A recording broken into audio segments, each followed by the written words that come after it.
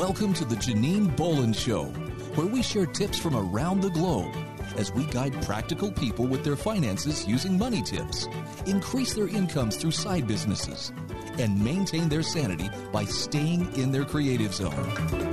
Hello and welcome to the Janine Bolon Show. It is great to have you with us. I always appreciate it when you take time out of your very busy Sunday to sit and just chat with us and also listen to what these amazing guests that I have on this show. And one of the things that I love about being on KHNC and getting syndicated this year is the fact that I have a bunch of radio show hosts on this station with me.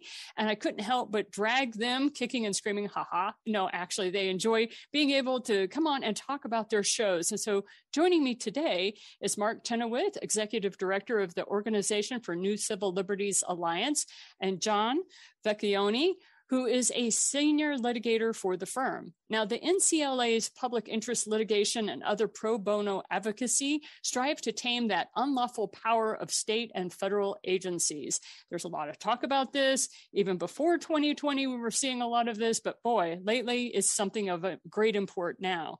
They are also the hosts of Administrative Static, an irreverent legal affairs show that exposes the unconstitutional administrative state within our own U.S. government. So Mark and Vec decry federal and state agencies' abuses. They trot out those legal arguments. They grill their expert guests and they bandy about the latest cases and controversies every Saturday right here on KHNC 1360 from 9 to 10 p.m. Or you can download the episodes on your favorite podcast app. And so I just want to say, welcome to the show. It's wonderful to have you, Mark and Vec. Thank you. Good to be with you. Yeah, it's great to uh, it's great to see another host. right right because most of the time we do our little thing in our own booths and off we go. We don't get to see each other. So one of the things i really like to bring out is what was it that brought about this show? I mean you have to have quite you know we have to pay for the time on the air.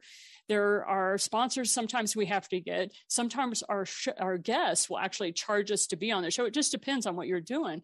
But you you doing a radio show every week uh, this is a huge time commitment a lot of people may not know that and so you just don't do it for kicks do you i mean you guys have a story behind this so if you guys wouldn't mind each one of you identify who's going to go first and then kind of tell me why did you even start administrative static? Well this is mark. I guess i'll go first. We uh uh, at the New Civil Liberties Alliance, we are always looking for additional ways to get our message out and to educate the general public about the administrative state and some of the problems uh, that we uh, are encountering. And you know, a lot of people don't really understand what the administrative state is until they get caught in its in its crosshairs uh, over you know, some decision that they've made or some uh, something that's happening with their business maybe uh, that attracts the attention of one of those alphabet soup agencies in in Washington D.C. And usually, if if you've attracted the attention of one of those agencies, it's not a good thing uh, for you or your or your business. And so we're uh, uh, we're of the firm belief that a lot of these agencies are using unlawful forms of power, and we've certainly seen this. We can get into that some more. We've certainly seen that in the last year with some of the coercion that's been been taking place. Uh, but we just looked at administrative static as an opportunity to spread the message of what NCLA is doing uh, to a wider audience, including that increasingly large audience of folks who prefer to to uh, you know take their information in via podcast. And uh, the other thing is we're practicing lawyers, so we file briefs every day and we go into court, and certainly I do. Um, and you know some of that stuff's pretty dry, but on the other hand. Um, some of the opinions and some of the things that happen are funny. So it's nice to be able to talk about something um, in a way that hopefully brings it to regular people. Um, you know, Justice Thomas always says he writes his opinions so regular people can read them. Well, on a podcast, hopefully you can explain things in such a way that it's not for judges people who have already uh, learned everything they want to know about the law and have their own views. This is more for people who want to see what's going on and how this affects people's lives. And with the administrative state, um, it, it reaches into so many places. One of the things we do all the time since we broadcast out of Colorado is we highlight um, on our last one, we just highlighted a water fight, right, that went to the Supreme Court. And Colorado has a lot of Supreme Court cases with water fights um, between them and other states. Yeah, mostly mostly my home state of Kansas. and so and so uh, we thought people might be interested in that. So sometimes we highlight that, but other other times we highlight things that NCLA is doing, um, and we mainly represent individuals, uh, people who've been caught up in the maw of the administrative state, and I think their stories are always interesting. Absolutely, and then you know, in terms of why I asked John to to join me on the podcast, is because he's my funniest colleague. So I wanted I wanted to. Uh, uh, we were kind of uh, uh, if I'm the straight guy, then you know, then John, uh, John's a, kind of the color commentary. You know, he spices you things always, up. So. You always have to have a color man. Thank you, John. I don't, have a whiteboard like Madden, though. I just have to do it from. Well, if John, if, if lot, so. yeah, you can. I'm sure you can definitely imitate him. So, John, if you don't mind, define for us what the administrative state is. Now, this is different than bureaucracy. So, go ahead and just educate us. I like to start off with definitions so we all know what we're talking about. So the administrative state is not the schoolhouse rock view of government, right? The Congress passes laws, the president executes those laws, and the Supreme Court decides on their constitutionality or interprets what the uh, law means. That is how it's supposed to work. But with increasing frequency from the late 1900s to today, and I'd say really accelerating uh, in the 30s and then again in the 60s, uh, the court started to just let the administrative agencies, which were either just run by the president without congressional um, oversight or sometimes insulated from even presidential control. And the, the, the body of law that built up to allow the administrative state to do anything it wanted to you uh, is, is you know there's no there's no fifth amendment there's no jury trials there's no uh, there's many of the things we expect in the constitution aren't there because this special body of law has grown up around administrative agencies and administrative power and their actions that is not rooted in the Constitution or how we expect laws to govern us. Because it's one thing when Congress says, you know, you you can't build on this property, and here's why, and we're seizing it, and we're paying you for it, right? That's a taking. But when the administrative state says, well, we're going to let you keep your property, but we're going to tell you everything you can do with your property, so you don't even really own it anymore. Uh, and they've never got a law passed that said they could do that. And the president sometimes has no idea it's even going on. So that's the administrative state. It's the it's the power that's been poured into these agencies extra constitution. And our focus at NCLA has been on people's civil liberties being violated by administrative agencies. So, so that's what we really focus on. Either we'll, we will defend people whose civil liberties have been violated if they're if they're in an enforcement action, for example, or uh, if they're in the posture of a plaintiff suing an administrative agency, they'll be suing to try to prevent the violation of their civil liberties or or the civil liberties of a larger group of, of people.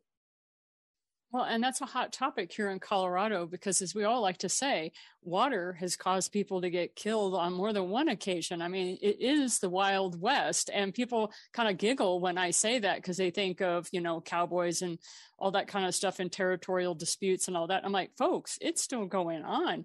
You just try to run a pipe anywhere in the state and see what ends up happening to you. and I'm like, and and water is still king. Everybody talks about electricity and oil and that sort of thing. Well, yeah, if you're in Ohio, but down here it's definitely uh, water. So if you don't mind sharing a little bit about what you guys were talking about when it came to Colorado and some of the things you're seeing happen. Well, today's, I'll just tell you, today's topic was, you know, in a lot of this, I think there's even Supreme Court's uh, cases that cite the old saying that in the West, whiskey's for drinking and water's for fighting over. And um, it's true. It's so I, true. In, that's made its way into a Supreme Court case. I don't, I'm not oh. absolutely sure of it, but I'm pretty sure. Oh and uh, so the, it was um, Mississippi and Tennessee had a fight not over a river, uh, which is how Colorado is usually fighting over rivers and how much water can come out, leave Colorado. And whether to pronounce it Arkansas or Arkansas, uh, as as we do in the. In hey, I'm from Missouri. I understand these things. so, what, so what happened is is that Tennessee, uh, Mississippi claimed that Tennessee was was taking groundwater that belonged to eight states and was taking too much of it, and that it was draining it out of Mississippi, even though it didn't come into Mississippi, it just went down into the groundwater. And the question for the court was, uh, how do you how do you apportion that water among the states? And there's uh, it, it, there's an equitable theory that they have that they apply to rivers that they applied for the first time in Kansas versus Colorado in 1906 when river a river ran through it like the movie says and uh, every state says all the water is ours while it's here and it doesn't belong to anyone else.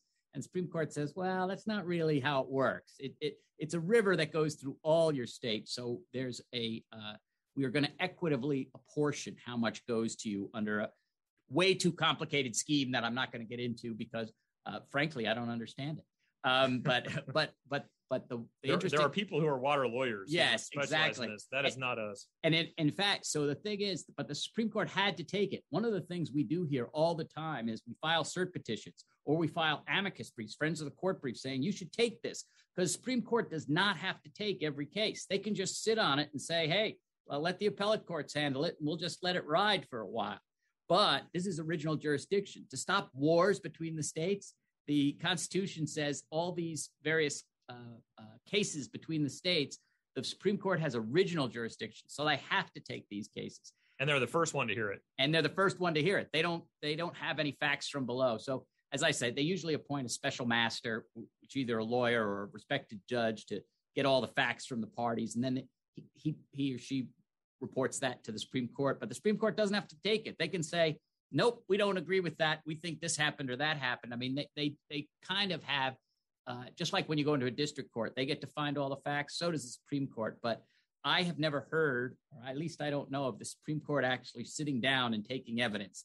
They, they, they, they're all appellate. By nowadays, they're all appellate lawyers. I don't think a, one of them was a uh, trial lawyer, right? So, I, uh, Sotomayor might be the closest. She was a prosecutor. There you go. All right, so you have that, and I guess, I guess Alito. so was Alito. Yeah.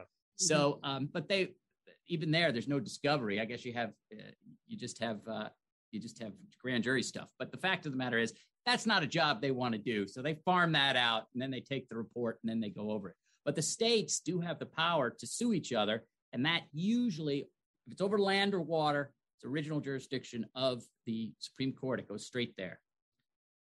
It, it occurs know- to me that one of our other cases that we have right now, uh, Janine, is a that that intersects Colorado uh, is also a water case because we're suing the EPA over the Animas River. You remember when the uh, the EPA destroyed the Gold King mine here a couple years ago and turned the river orange in the uh, yes, why? Why? Yes, I do. yeah, the river seen around the world. Well, we are uh, we're currently uh, representing uh, a landowner near that river who the EPA, uh, without telling him, without announcing it, without getting his permission, just built a water treatment facility on his land in order to treat the uh, you know the polluted river, uh, which you know ordinarily you would think the government has to pay you for your land if they're going to take it and use it in that way, but they haven't paid him anything. So we think that's a problem, and that's a another Colorado water case that we're and, involved in and right it's now. called the Animas River. I had forgotten that. Yeah, the Animas River. Yeah. That's good. That's a good name. it is, isn't it? Generated yes. a lot of animus. Yeah, yeah. True to true to form and true to its name. So one of the things that I remember from a lot of the constitutional law that I had to take when I was working on my master's was that we had to go back and study the old state constitutions as each state was formed and all that. And we had to read through a lot of those things. And one of the things that I find more and more disturbing is the continual eroding of the state's rights or the state's power as the federal government. And a lot of time it's through finances, like when it comes to roads or infrastructure or something like that. You always see the federal government get its way by saying, well, we'll pull funding well, we'll pull funding. And so that is something where I'm looking at how can states get their some of their power back in in that get their budgets under control. And I'm always talking to folks about is there any way you folks can at least get this county debt free and then we'll work at the you know at the district level and then we'll move up to the state level. But let's try to get the financial part of it under control because then you don't have uncle sam pushing on you financially speaking. You can stand there like some of the cases of california and go fine we won't pay taxes. I mean it's like it's kind of like when you finally have a enough power to be able to get their notice. So didn't know if you guys had any commentary on that aspect of it because we see an inordinate number of presidential orders coming through, and that was supposed to be a last resort. Uh, like if you couldn't get Congress to figure it out, and if you couldn't get any information from the Supreme Court, the president had the right to come in and say with presidential orders. But that is being used excessively at now to bypass uh, the administration. Yeah, it is. So. It's being used as a shortcut, and in fact, we did a we did a report. It's on the NCLA website, nclalegal.org. If people are interested in executive orders, uh, at the uh, conclusion of President Biden's first hundred days, we we did a retrospective on all of the uh, dozens of executive orders that had been released in that in that first hundred days. And it's not even that that that they're a last resort. It's that executive orders aren't supposed to be able to bind anyone outside the executive branch. So it's fine for the president to issue an executive order directing people, employees within his control in the executive branch to do things. That's fine. That's that's how executive orders are supposed to work. But way too often these days, presidents are issuing executive orders that purport to do things like order you to do something or order companies to do something. That's that's not okay. That's not what the Constitution sets up as a way uh, to make law uh, that binds uh, other people. That that has to go through Congress, and by we call it bicameralism and presentment. Right, it goes through both houses of Congress, right. and the president signs it. Uh, mm-hmm. and executive orders obviously don't follow that path, so they're not supposed to bind anybody outside of the executive branch.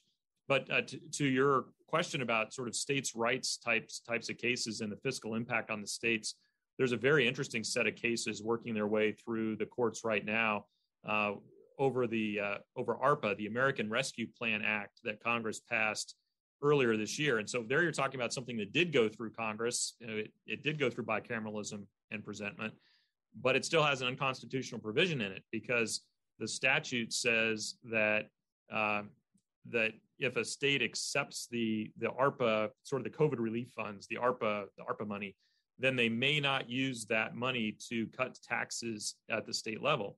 Well, one of the main aspects of state sovereignty is a state's control over its own taxing and spending policies.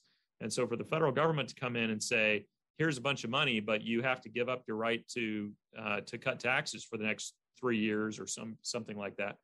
Uh, that's a real violation of state sovereignty. And so, as you might imagine, many states have sued the uh, federal government over this provision. And NCLA has jumped into a few of those cases. Uh, and so far, they've all gone well from the from the state perspective. The Southern District of Ohio federal court ruled in favor of Ohio. Uh, the, the, Northern District of Alabama has ruled in favor of 13 states, uh, which I think is a 13 seems like the right number of states to be suing over tax uh, questions. It just exactly. I wonder if they kept of, people out. no, you can't no, join no, no. us. You 13, our number. 13. We stopped at 13. Uh, but yeah, uh, because uh, you don't want those even numbers. That's unlucky, is what people tell me all the time. You don't want even. And and to your so state sovereignty has been whittled down, but the spending and the taxing are the holy of holies. I mean, that, that even the Supreme Court, that's the one place it does not want to go. It says, well, what the power to tax is the power to destroy, said John Marshall, and the uh, and the uh, Supreme Court thinks the power to take away your taxation and spending is the power to destroy states. So they do. That is the one thing I would say that the law is pretty good on that. Yeah, I mean the precedents are. I think that's why the cases have all been coming out the way yeah, they have. Exactly. So, uh, but that's uh, that's probably the most current example we have. And there's something called the uh, the non-delegation doctrine, uh, which is uh, uh, I, mean, I guess you could say that it the, the doctrine, or at least the name of the doctrine, was invented by the Supreme Court, but it it flows from Article One, Section One of the U.S. Constitution, which says that all legislative power shall be invested in a Congress of the United States. And so, all that the non-delegation doctrine says is essentially, yeah, and Congress can't give that power away. So it's vested by the Constitution in Congress. Congress keeps the legislative power. They can't give it to the president. They can't give it to the courts. They're the ones that have to make those legislative determinations. And one of the things that is wrong with ARPA is that it has essentially had very vague language about what would happen to the states if they didn't uh, or if they did raise taxes or and what a tax vague, cut was. what a tax cut is and what it would look like. And and so the department of treasury put out a regulation that purported to clarify all of this uh, that essentially turned the states into having to account for every dollar that they taxed or spent and report it to the federal government so that the federal government would be able to monitor them for purposes of compliance with with ARPA. And so just that amount of interference with uh, with the state, kind of turning the state into auditors for the federal government. And it's kind of worse. A problem. It's kind of worse than this. The case is Yellen versus Ohio, and I don't think Commissioner Yellen wanted this power. Ohio v. Yellen. Uh, Ohio v. Yellen. Well, yeah, but it's up. It's gone well, up. Yeah, appeal, so it reverses. Sure, yeah. Sure, yeah. So I don't. I don't really think she wanted it. But what the federal government said is, well, there might be problems with the statute, but the administrative state through Yellen is going to fix all the problems. She'll she'll she'll administer it in such a way that won't be unconstitutional. So uh, her regulations will fix the statute. Well, that's not how it works because she can only issue regulations that the statute is already authorized. Yeah, exactly. And, yeah. and from a constitutional perspective. And I do, this is what I usually find that, you know, in the cases Becerra, usually the administrators seem like they really, really want to push this, this administrative position through. And if you see them on TV, they're always like, this is the greatest regulation on earth. And I, of course, I can do this and I should do this and the court should stay out of it. And they're like very vehement. We're experts. Yeah, we're yeah. experts. And I have to say, Yellen's been kind of quiet. Yeah, well, I, I feel like they've been thrown under the bus. No offense, but here you go. You're going to fix it all. It's all going to be fine. We're just going to get it passed through. Thanks for throwing me under the bus, boss. Appreciate that. So, yes, exactly. yeah. So these are things that you folks are kind enough to bring about and say on the radio waves because a lot of stuff does get ushered to the pretty quickly. And one of the things, um, my background is analytical biochemistry. And so I worked a lot with the FDA and we were trying to get things taken care of before we ever trotted into legal affairs because that's when it got very expensive very fast. And so everybody wanted to kind of play nice, nice before that.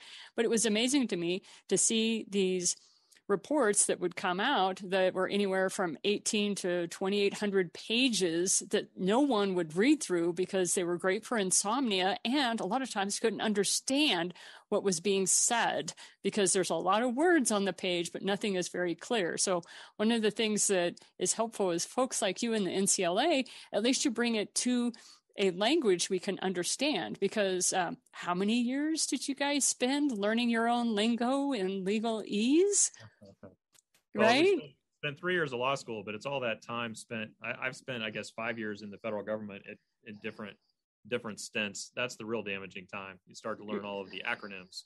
Then right? you can, then you can bamboozle anyone right? Because it's all acronyms, like you say. and It's the same thing in science or any other institution or any other sort of career path. Is that you have this insider language, so to speak, and so then the uh, common person or uh, vox populi, if you say the man on the street, is, is lost in the in the shuffle. So as a folks like yourselves, what are some things that um, I always like to say, what is it that a person can do, right? It's all very good to have wonderful people like yourselves that are watchdogs for things and you're, you're letting us know, hey, this is not appropriate. This is not appropriate. But at the same time, I sit here as a homeschooling mom of four and I have a little online university. Uh, what, what does somebody like me can do with all this? So did you guys have any things that you recommend for folks well, to, how do we stay in touch with that? I have I have a couple of things. First of all, you you can um, you can fight the regulatory state. Uh, it's expensive, but you can find people to help you uh, if you have a good case. But I also think there's always a, a war of two sayings in the United States, and one of them is there ought to be a law, and the other one is it's a free country. And when those two things are at war with each other, but they're very common sayings, and um, I think that when people, regulators or, or politicians or lawyers are saying, oh, there ought to be a law and everyone ought to go along with it. Um, I don't think that should be the default. The default should be freedom. And um, so I don't be so fast to say, oh, the government should do this or the government should do that. Because if you are fast to say that, the government's going to do it. And um, you, you may not like the results. So, one thing is to listen to what people say they're going to do and look into the weeds of what actually happens then and why they have that power. Because one of the things we do, we sometimes sue state governments in administrative law that, that have done something wrong, but it, but at least the states usually have uh, they can say we do have this power. They either point to a part of the Constitution or they say we have the police power, which people can argue whether or not they should have the police power. Maybe it comes from kings and maybe they shouldn't have that. Um, but at least the Supreme Court has said they do. The federal government, it only has the power that comes out of the Constitution, and then the agencies only have the power of the animating statutes. So making them always say what animating statute gives them the power to do this is the Achilles heel of the administrative state. And I think that question always has to be asked. And one other thing, they ask for comments. If you're in an industry and you know that there's comment, they're asking for comments on a rule, for God's sake, comment. You all you have to do is send them a letter saying this rule is bad because it will affect me this way, or this rule is good because it'll affect me this way. But um, there's a professional commentary in DC and all the lobbyists are there. But if you're in an industry, you're perfectly fine. You don't have to be a lawyer. You don't have to have a bar. You don't, you, you can just write a letter saying this will, this administrative proposal will have this, this, and this effect. And often you can belong to um, your local business group or your local union, or, and they'll tell you these things are coming down the pike. So uh, you can watch it yourself, but usually there are groups that watch them in your area. And you can then just comment, and at least that'll be in the record. And if they don't pay attention to that, the courts will strike it down for not answering that response in their administrative processes. Yeah, I think those are good examples, John. And, and I think, uh, I mean, what maybe one of the biggest disappointments, Janine, uh, of being with an organization like the New Civil Liberties Alliance is we can't help everyone who, you know, who calls us or sends us an email ask, asking for help uh, because what we're really trying to do is set precedent and, and bring cases that are going to help the maximum number of people. Because we have limited resources, we really can't devote those resources to one off sorts of cases or opportunities. We have to find cases where we can take away a particular tool or tactic of the administrative state that is being used to violate lots of people's uh, civil liberties. So we hear about cases all the time where someone's really getting shafted, but it's just not the kind of case where uh, you know it's going to affect anybody else in the same way in the future.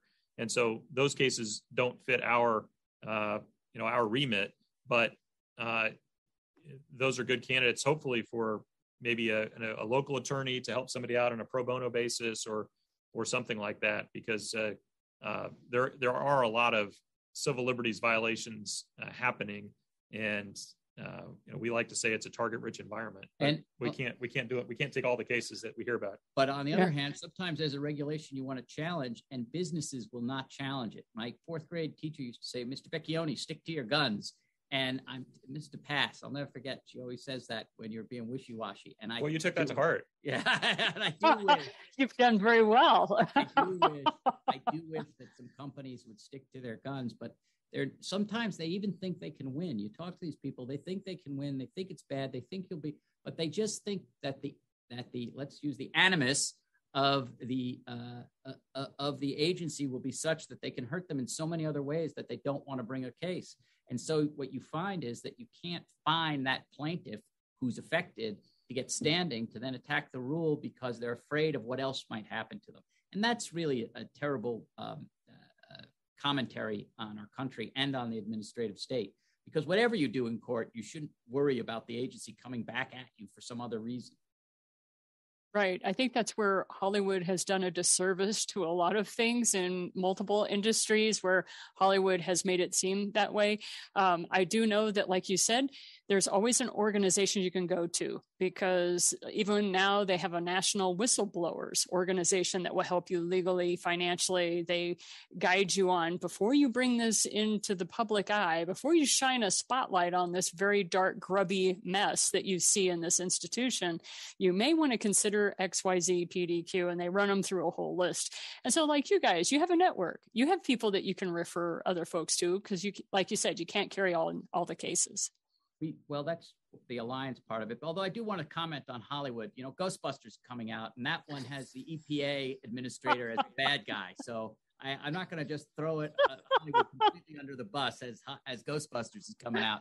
But uh, but in, in, in any event we do have you know there's certain things we don't do that we refer cases out to certain religious liberty cases certain certain freedoms that um, second amendment stuff that there's a lot of organizations that do that and they often have to do some administrative state stuff because that's who's that's who's coming after them right in fact uh, you know getting back to sort of what led to the founding of ncla uh, our our founder philip hamburger is a professor at columbia law school in new york and he uh, wrote a book back in 2014 called "Is Administrative Law Unlawful?" Short answer: Yes, but it's an 800 page book. I I recommend it uh, to you. He calls it his. He read the last page.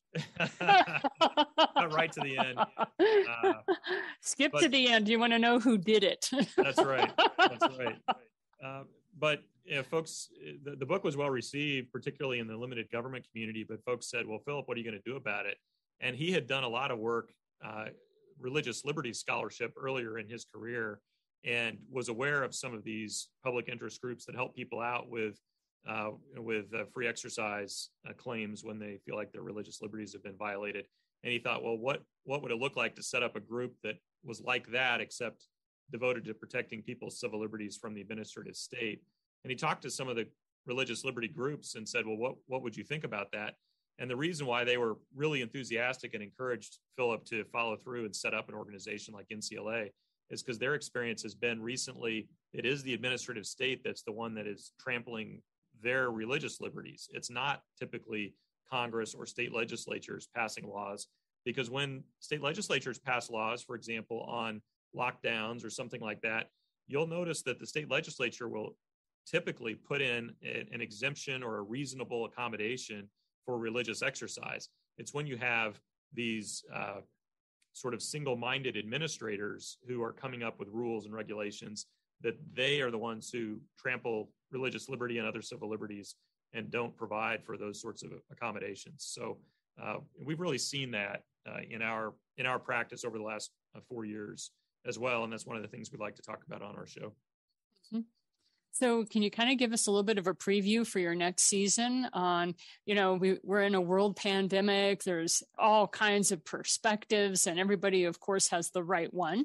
And so, I was just kind of curious. You know, this has had to have been just wonderful grist for the mill of your show. Well, I, I will say we've done a lot on vaccine mandates, and um, I don't know if we're in a pandemic anymore. I think it's gone to endemic.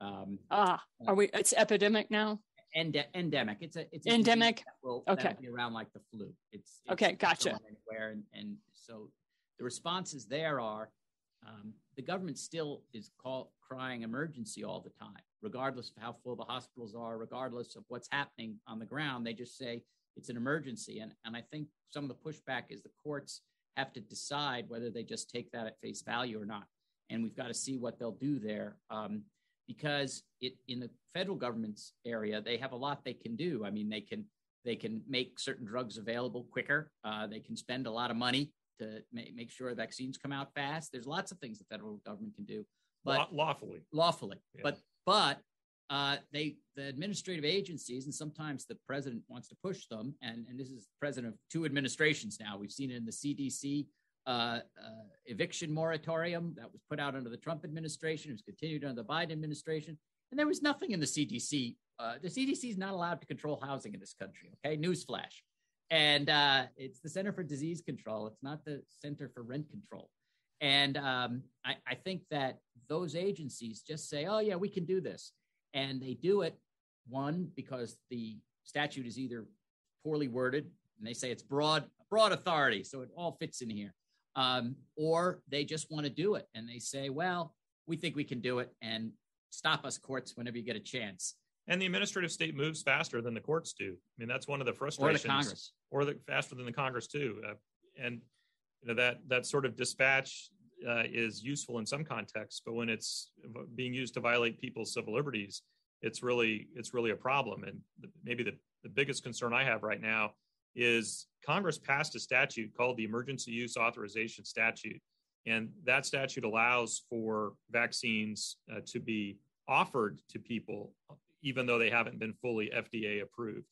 But that statute also explicitly says that people have the right to informed consent and to refuse administration of an emergency use authorization vaccine. But what we've seen is, uh, despite that statute, guidance and agencies have been putting out uh, advice or putting out regulations. In the, the case OLC. of OSHA, the Office of Legal Counsel, the Department of Justice has put out an opinion saying, "Well, that's not what the statute says. Uh, the statute the statute says that."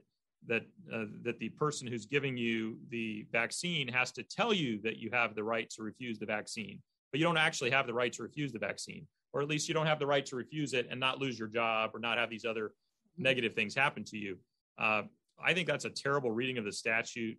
And I think that when Congress, and by the way, Congress passed the stat, this isn't some ancient statute. Congress passed the statute in around 2003 when they were worried about anthrax and some of the post 9 11 uh, threats that were coming about and wanted wanted to be able to give people quick access to experimental drugs if you know if necessary but the idea to take that statute and turn it into forcing experimental drugs on people who don't want them uh, I, I, just don't think that's what congress you know had in mind at the time. So there's going to be a lot of battles over that uh, in the coming year. And and i think this emergency what what constitutes an emergency may be coming out because we have seen with the supreme court and most of the courts we've been in um, in the first three months from March to uh, to from March to December last year, you didn't want to be moving against anything the government did on COVID because you know no judge wants to be the guy who allowed all these people to die and and and the germ the, the, the um, virus to just go all over the place. You don't want to be that guy, and, and it's an emergency, and you don't have the knowledge that that the executive has.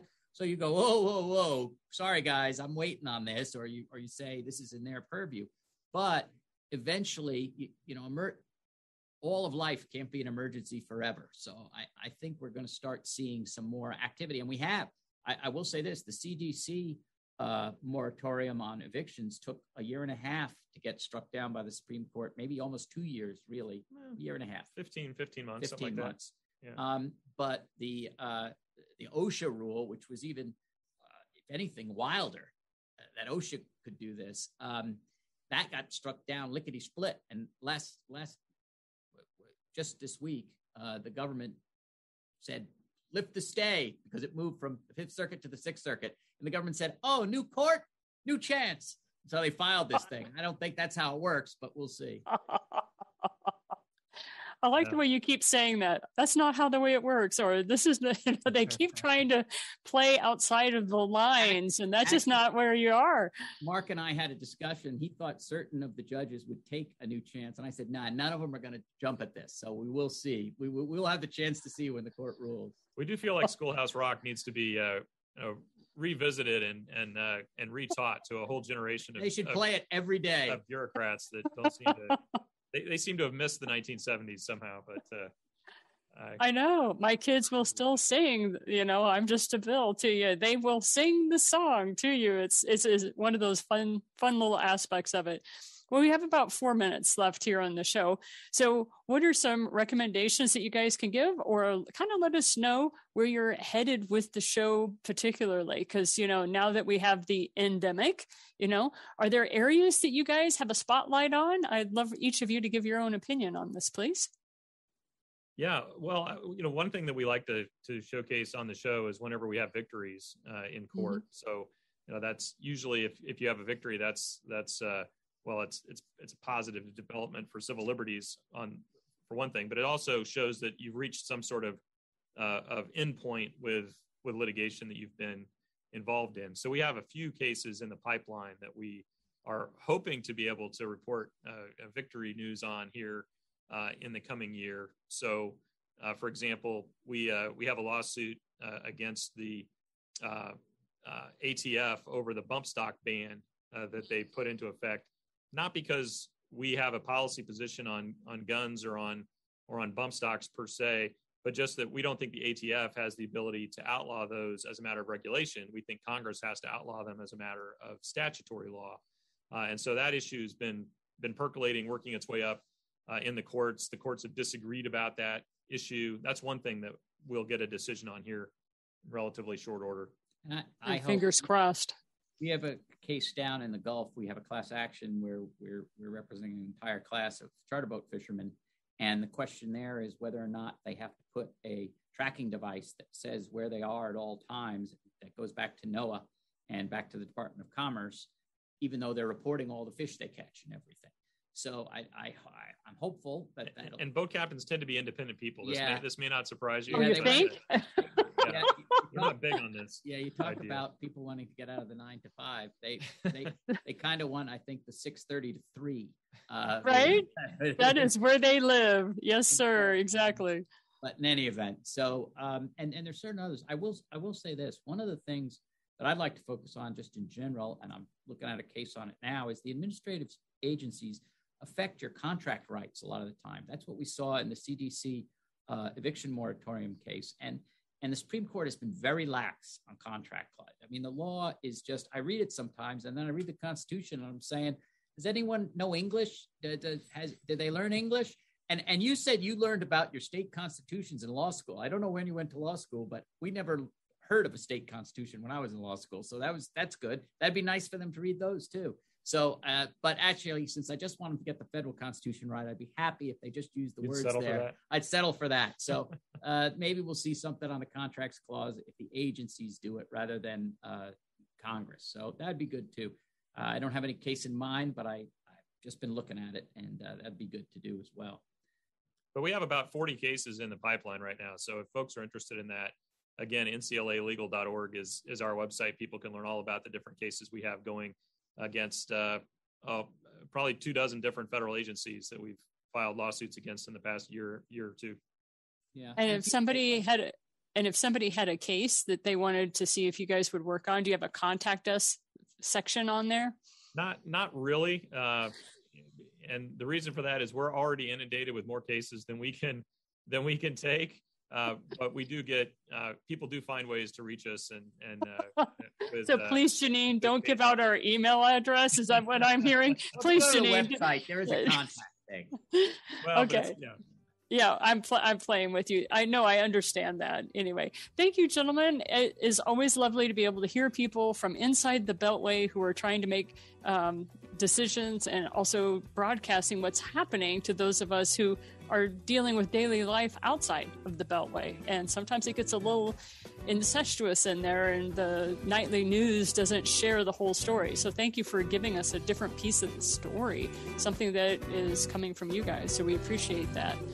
And with that thanks so much for listening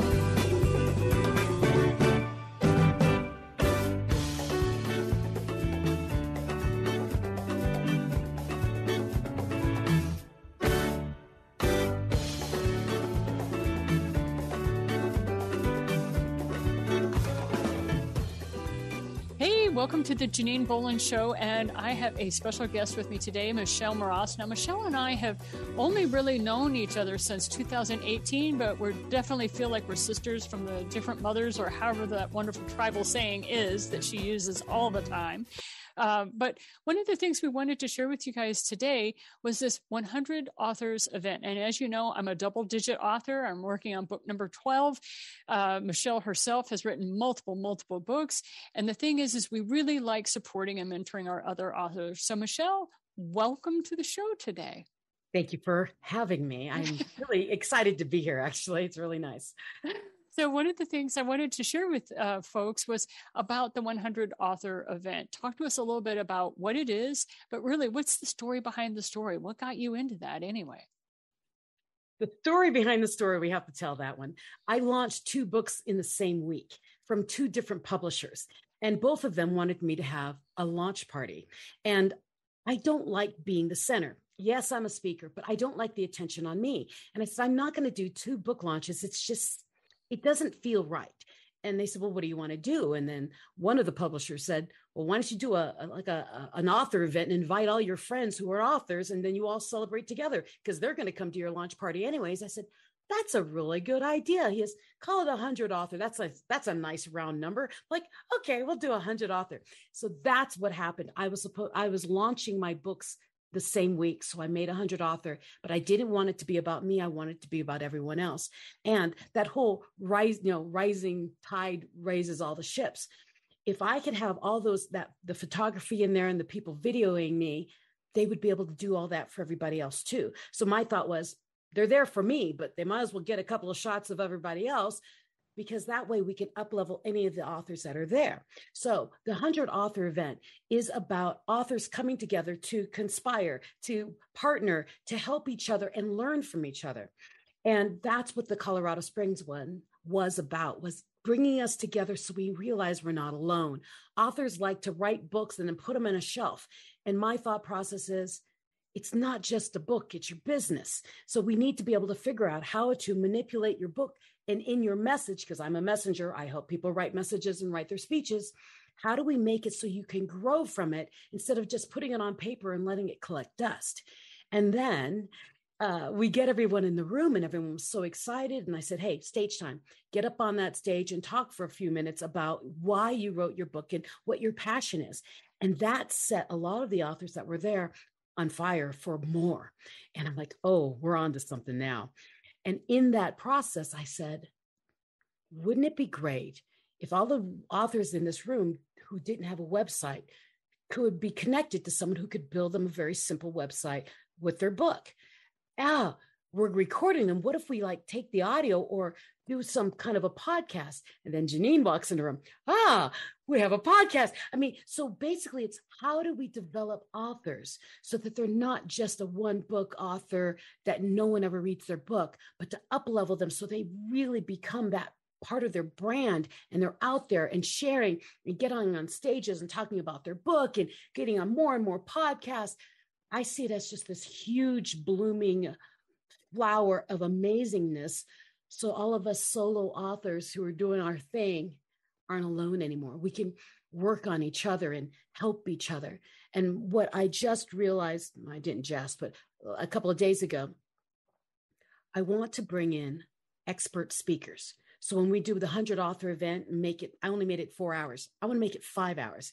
And then that first hour would be, you know, VIP. You can buy a ticket to talk to John Maxwell for an hour, you know, or come in and talk to, um, J.K. Rowling for an hour, you know, that kind of thing. And that way it's a up level. We can learn from other people. I've got a lot of ideas going on in my head. And um, I'm glad. It was a good event. It was, the Colorado Springs was a very good event. But like you said there, this is the core group and it's going to go from there. And already, how many additional events have been orchestrated now? You've got there's, Dallas there's, coming up. Well, Dallas is November 30th. Right. And then Las Vegas, it looks like there'll be two of them back to back, December 8th and December 9th. One will be at a hotel, the other one will be at a bookstore.